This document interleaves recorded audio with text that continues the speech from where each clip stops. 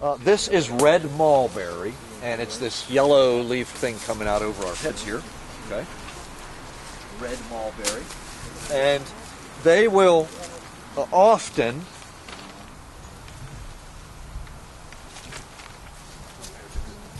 they'll often get strangely lobed leaves, like jigsaw puzzle pieces. Here's one. Look at this one. All no two the same, just very strange.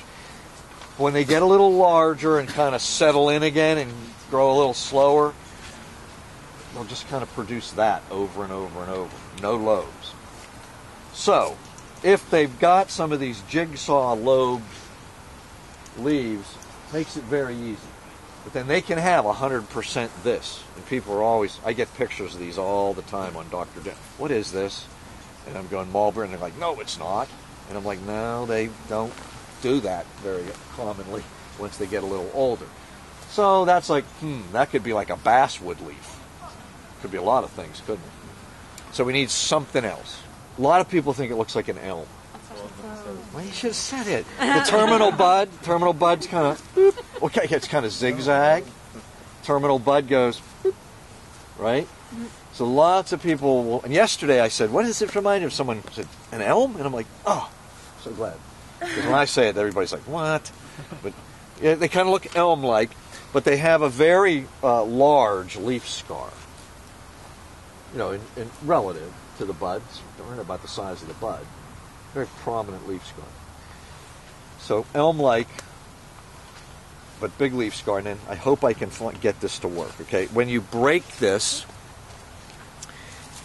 and kind of rip it, and of course it, of course the light's getting kind of bad. They will, you, they will often have. Oh, there's some.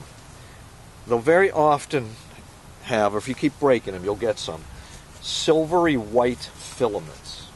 Literally silvery white, like silk. Like, Wh- wh- you have to snap it. Anybody know mulberry fruit?